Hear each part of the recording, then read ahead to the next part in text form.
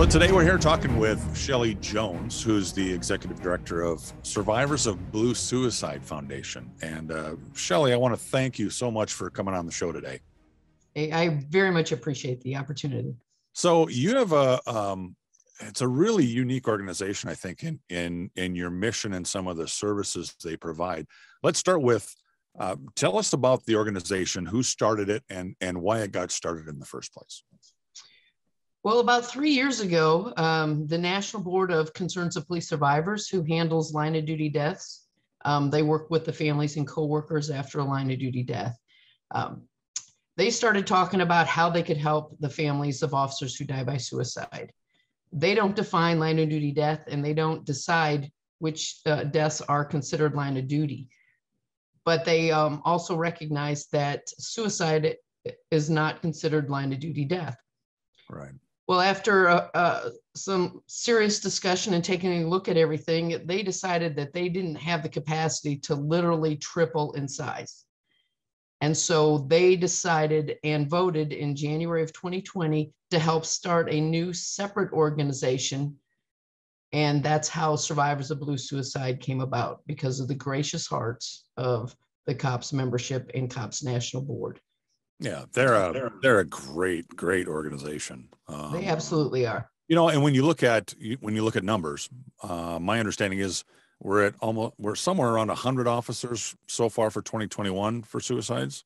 Is yes. that correct? Am I close with that? And then and, and then historically we've seen numbers equaling or greater than our line of duty death numbers. Uh, yes. Which is great. I think people don't realize that. Yes. I um man, so so I, with my background being uh, with the Law Enforcement Memorial Association in Minnesota, um, I've, I've, got a lot of experience working with survivor families for, for, for line of duty death funerals and working and supporting those families and knowing the, the, the kind of support that we provide to those families throughout the year and every year. Um, you think about, it really got me thinking about the, the families of, of officers that we've lost to suicide and, and who do they have for support? you know who's there for them? Um i just think that's uh, just a big void. It's they're they're kind of the forgotten families if i mean does that make sense? I, that's the way it seems to me. Yes. They've they've been left um, to their own defenses basically. Um, right. There has been very little help out there for the families um, locally you might get a little bit and some agencies do a really, really good job of taking care of those families. Some of them give them an honorable funeral, um, literally a, a, what is defined as a line of duty death funerals. But other agencies have said uh, you can't attend the funeral on uh, on the clock. If you go to the funeral, you can't wear your uniform, and you have to take vacation time. So that's the spectrum, and we're trying to change that that's one of our missions, uh, our goals of working with the agencies to say, hey, let's give these folks an honorable, uh, honorable funeral. They, they've earned it. Um, their family has sacrificed. They've given up their holidays. They've given up um, their family time, um, all the special occasions those officers have missed. These families have sacrificed. And, and a, a lot of the suicides are due to the traumas of the job. Right. Because the traumas aren't addressed, um, they um, they get worse and worse, and some of them eventually uh, die by suicide. Right. And we're working to try and keep that from happening um, through what we call postvention. Um, we work with the agencies to help navigate the aftermath, basically, of a suicide. And so, I I, I, I think that is that's just an area that for me as a sheriff um, when when we lost our uh, captain lauren gunther in 2013 i knew to call LEMA because that's who's handled line of death suicides here since the 70s and i know the phenomenal people they are. But when i think about corey slifko's family and uh, the south st paul police department and having their officer, you know, a, a decorated sergeant who um, who had some struggles, but nobody really saw it coming. Um, number one, that the shock of that, and number two, as a as an agency trying to figure out how do you how do you handle this? I mean, who do they go who do they go to for help? They call LEMA too, but um, you know, we don't. That's not. That's not. They're the the the emotions and having worked on this podcast that's coming up on the 26th the emotions and the just the whole feeling of it are, are so much different with with the uh, suicide families i don't there's even know how to explain it there is there's a stigma attached and some families don't even want anyone to know how they died right. um, and we're trying to change that not because we're trying to invade their privacy or anything like that. It's just if we don't talk about it, we're never going to be able to prevent it. We have to make this nation aware that these officers have sacrificed and that the, the traumas of the job that they encounter on a day to day basis um, is what leads them, a lot of them, to, to suicide. Not all, but a lot to suicide. And so that's what we're working towards is trying to help the agencies understand that and have a plan in place to one, prevent them from happening, have wellness checkups for your officers, you know, um, go over what the signs and symptoms are, let them know it's okay to not be okay and, and let them know it's okay to reach out. Right. Then should they have one, the uh, the steps that they need to take to make sure they don't have any what are oftentimes called contagion suicides. You have to take care of your officers after um, a suicide, and you have to take care of that family.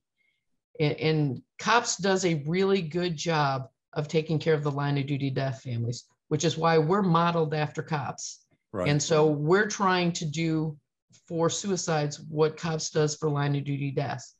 Now we're just getting started, and one of our biggest struggles is getting agencies to call us. One, they don't even know we exist. Right. You know, you can put it out on every news channel on the planet, and somebody's still going to miss it, and and they don't know we're here. Yeah. So, uh, doing um, um, presentations like this podcast will help get the word out to these agencies. Uh, God willing, they they never have a suicide, but should they, we're, we're here. Right that you're a resource for them, you know, Absolutely. to rely on and, and to help walk them through this. Absolutely. Um, I think that's just phenomenal. So, how with the with all the civil unrest and with all the anti-law enforcement narrative and the the reform police, refund police, def, defund what uh, reimagine is the other buzz term that we're hearing in Minnesota now, or we're hearing here in Minnesota. And um, I mean, how, how does that? I mean that that totally increases that stress level for these officers. It, it absolutely does. It it changes their their daily narrative. Um, right. You know, right. You, you, go to a job that that um, the media just keeps slamming and blaming for all of society's problems. And uh, and these officers go go to work every day with the best intentions. Um, do you have bad officers? Absolutely. Do you have really good officers that made a bad decision in the spur of the moment? Yes. But 99% of your officers are good officers making good decisions every single day and I truly believe that this country supports these officers. Right. They they just don't speak up as as much as we would hope they would, I guess. Right. But um, I, I truly believe that most people in this country support our law enforcement. Um, do we? Is change needed? Change is always a good thing. Um, you know, you, you, you stagnation is bad for any um, organization or any um, department. But to defund them and to blame them for for all of society's issues, that's that's that's not what we're here about. No, agreed. You know, and, and when I when we talk about wellness checks, when we talk about whether whether it's um, um, uh, annual wellness checks or or peer support programs, Uh, I, I hear a lot of smaller agencies in greater Minnesota, for example. I hear some kind of off the cuff comments of like, well, that's, you know, that's, they do that in the metro. That's kind of a metro thing, or that's a larger agency problem. We don't have that here. And um, that's not the case. No. You know, we, uh, we have a peer support program here and, and um, we're a small agency and people utilize it. And uh, it's important that we develop a as as CLEOs or as chiefs and law or chiefs and sheriffs in law enforcement. It's really important for us to develop an atmosphere or a, a, a working atmosphere that that it's okay not to be okay. You know, Absolutely. To ask for the help. Um, the problem is you still have administrators who, like me, were started in uh, during a time period where you didn't talk about stuff you didn't you know suck it up you just deal with it um, if something's bugging you you know it's that's part of the job you're just going to have to move on to the next case and and you just didn't you never had that kind of support no. Uh, so it's a complete paradigm shift as far as it, administratively as far as thinking um it is so well, i mean what can we do to better support as law enforcement uh, what can we do to better support these survivor families, especially these the survivor families uh, of of suicide? Well, you know, we everybody when a when an officer dies in the line of duty, everyone in the world knows it happens. I mean, it goes out multiple um, media sources pick it up, and, and nationwide, pretty much everyone hears. But when an officer dies by suicide, you don't hear it. Nobody hears about that. Right. And, and that's and a lot of that is due to the stigma or the shame and I and because uh, the families don't want anyone to know because they're feeling that that stigma that's attached to it. And so get the families to talk about it. Share um, take care of the families. Assign a liaison just like you do a line of duty death. Uh, you can follow the steps that you do for a line of duty death and, and take care of these families. You know, we all hear about um, or see on social media where um, an officer who died in the line of duty's child graduated from high school and the entire department shows up right, for that right. graduation. Right. Those are the things that you can do for, for the surviving families uh, of suicide as well. Um, remember the anniversary. Remember their anniversary. Call them on their birthday. Call them on their end of watch reach out to them, have them over for dinner, um, you know, help them uh, if they need help mowing yard, their yard in, in the, you know, right after it happens. Just any kind of support that you can give them and stay connected because they just lost their officer. Right. And they're part of the blue family. Let's be honest. Yep. They see themselves as part of the blue family. So let that blue family uh, step up and and support that family and don't be afraid to talk about that officer right. tell the spouse some of the funny stories of calls they've been on and the parents let's not forget the parents and the siblings and the kids um, adult children you know um, they've lost people their their their loved one as well so right. we've got to remember them and and just reach out to them and, and remind them that they're still part of the blue family and you're there for them. I'm not talking you have to spend every waking moment with them, but reach out and just stay connected so they feel that connection and that support. Yep. Because I can tell you when I talk with the survivors, there's a huge difference in the, the families that were supported and got an and received an honorable funeral from the agency to those who did not. Right. The grieving process, that funeral and all of that support is part of the grieving process. Yep. yep. And and you can just see it in their face when they talk about their agency. And so just stay connected. That's the biggest thing that I can say, just to give you a brief um, synopsis yeah. of what you need to do is just stay connected to the families.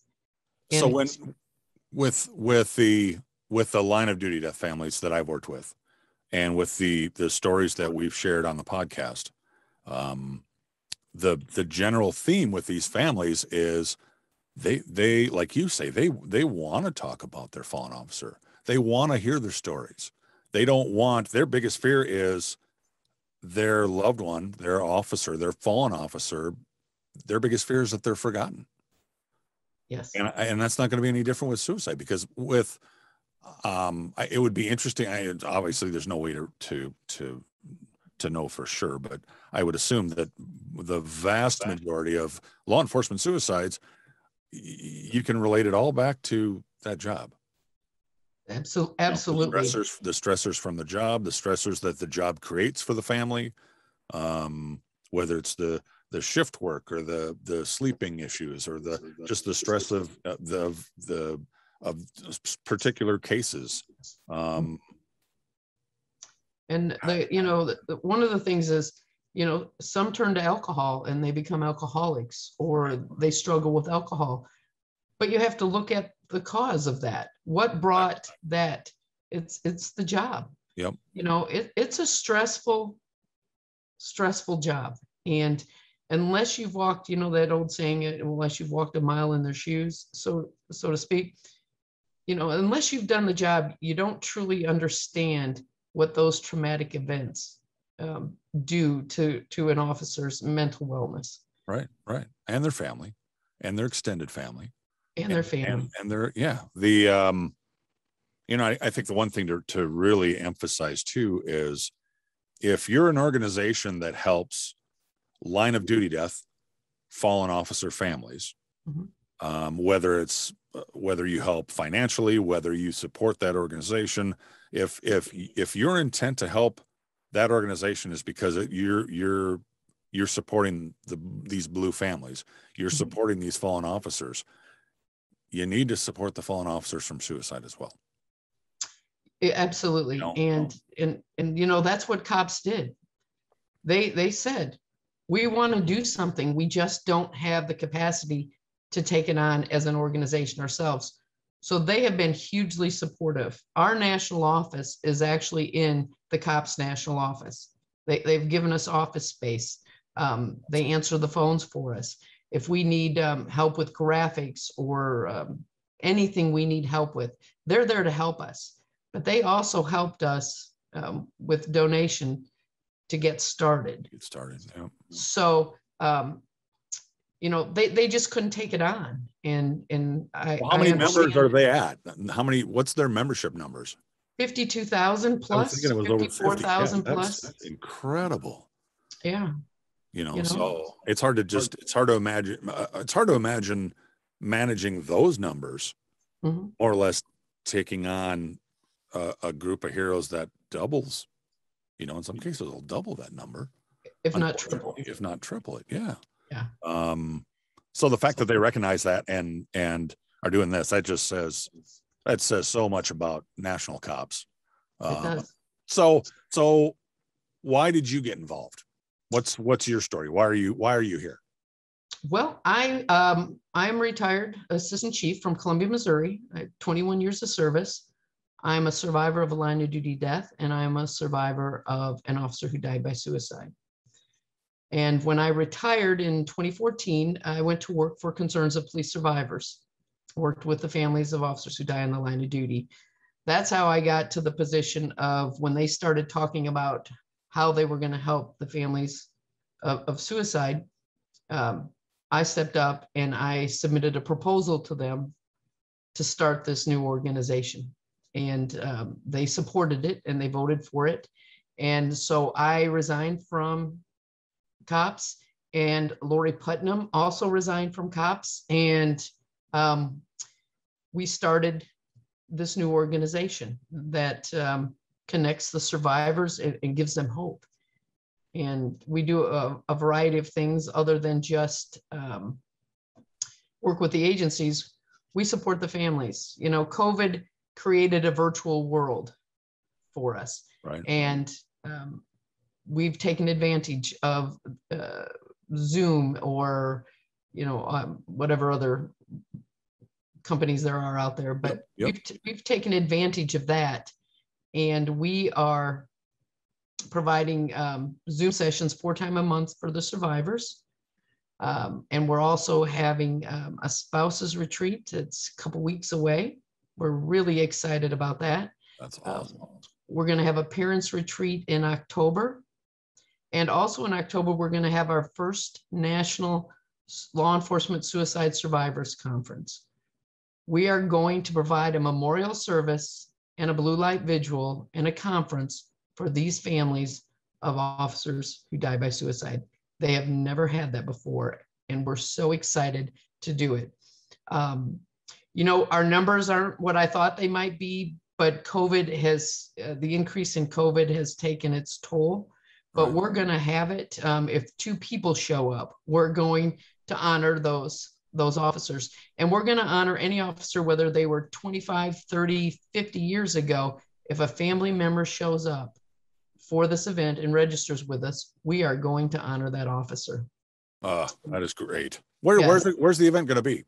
In San Antonio, Texas. Okay. And we picked the Midwest because we thought it was easier for people to get to, and it's a little bit cheaper than a Washington D.C. area. So right. So and we're trying to to make it affordable for them, and we're it's modeled after um, COPS National Conference, and it's a one day conference, not two. We decided the first year we are going to just do a one day conference and then have the other events. So we're very excited um, to, to be able to do that for the first time ever. So uh, anybody who's in law enforcement knows who cops are.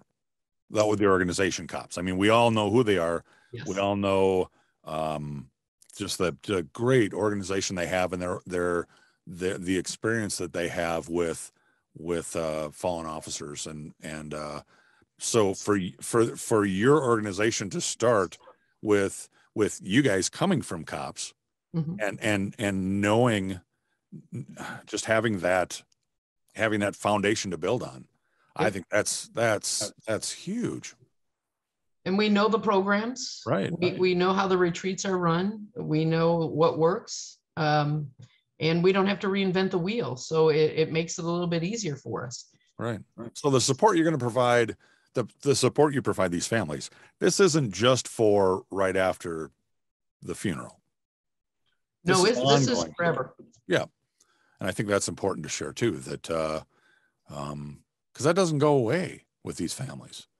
I had one, uh, one fallen officer family or uh, a fallen officer, uh, widow who, I was doing the story of her husband, and she told me that I thought I thought this was interesting. She said that you know you had the funeral, or well, first her husband was killed, and then you've got all these phone calls. All the media is talking about how how much of a hero he was, and and they're talking about uh, you know the event, and you have family calling and coming over, and you have officers, coworkers coming over, and it's all this busy activity planning for the funeral and you know a celebration of life and a celebration of service you do the funeral and then for a couple weeks afterwards there's still people bringing over food and and checking on her and making sure everything's okay and then things get quiet mm-hmm. and she said that uh, she said that every day i didn't hear something from somebody was another day i felt like i was being re-victimized all over again and my biggest fear was that people would forget.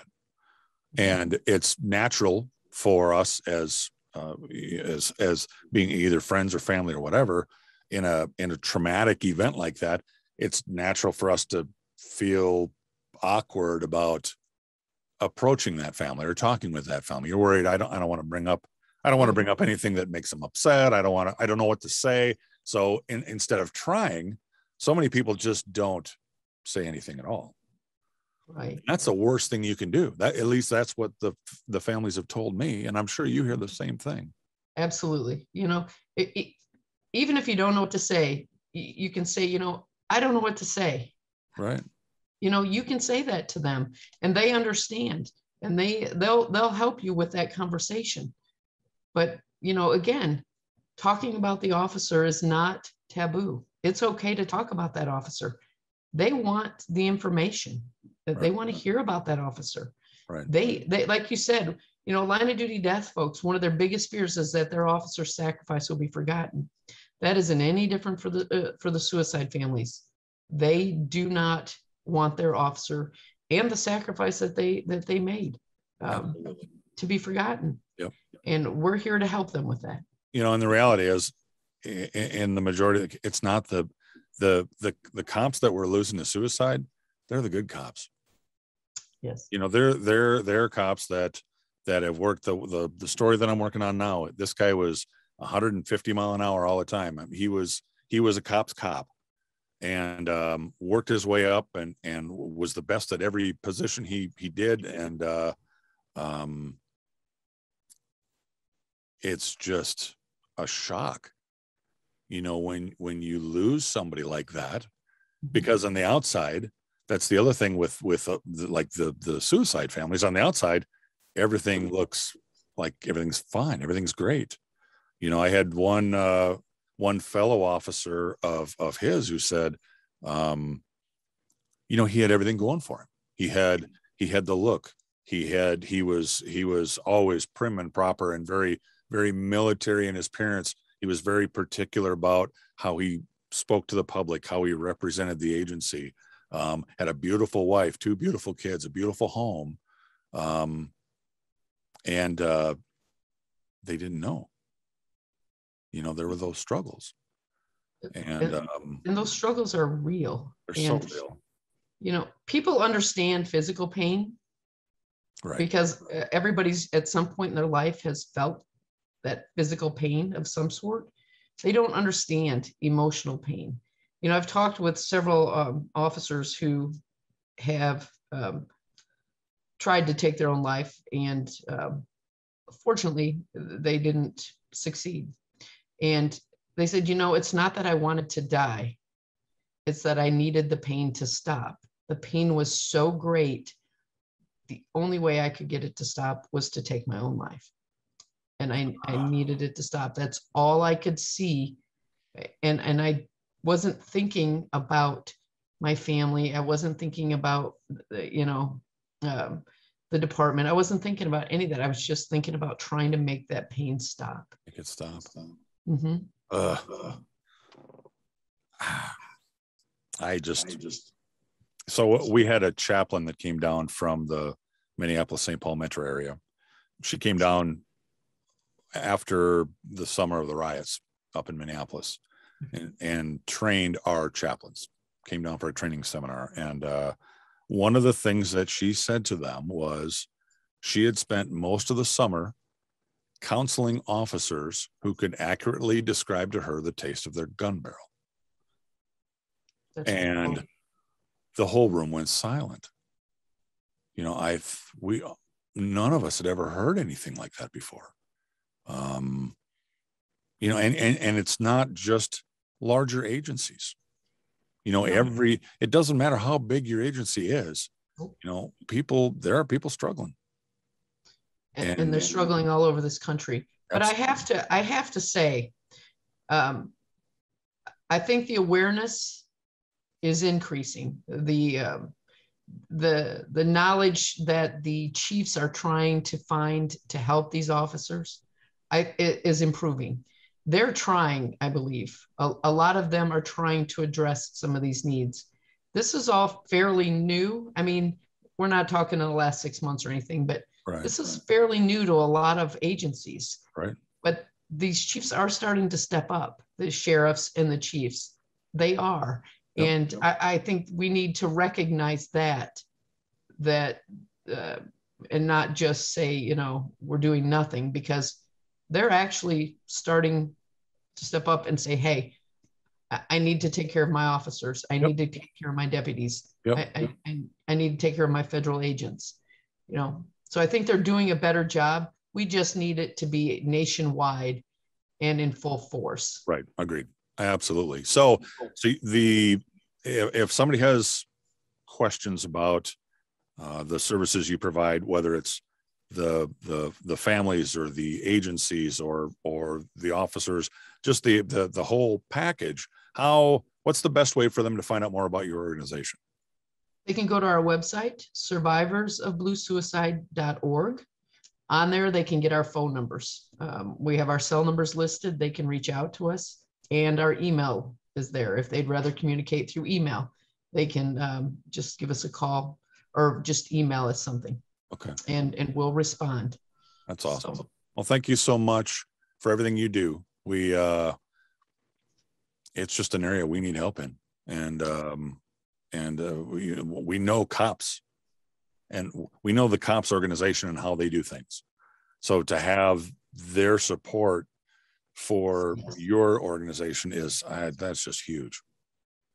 That's well, we we came from cops, so we understand. Yeah, absolutely. Cops, you know, and we also understand that we watch those survivors get off the bus at the retreats with this look of fear on their faces and, and the terror of coming to this for the very ah. first time. Okay, we, we saw that. Then we saw them get on the bus Monday morning, hugging everybody that they met, laughing and smiling. Now, did all their grief go away? No. But for a brief moment, that they had some relief. And now they also got support that they can take home with them. Right. They have new people that they can call. You know, they all exchange phone numbers. And so they have support they can call on a daily basis if they need to. Right. And so having watched that, we know it works. That's and awesome. so that's what we're going to provide for our survivors. well, thank you for everything you do. And thank, thank you for your service. And uh, folks, look up Survivors of Blue Suicide Foundation. Um, you can just Google it too. You'll find out. You'll find all their links. Uh, but if you know any agencies, families, um, anybody who's been impacted by a law enforcement suicide, that can, they can all use this help. They can all use this support. Um, so, so make sure you share this information with them. Also, if you're interested in more information about our podcast and the mission of the Officer Down Memorial Podcast, you can check out our website at officerdownmemorialpodcast.com. And you can follow us on Facebook, Twitter, LinkedIn, and Instagram. Thanks for listening, everybody.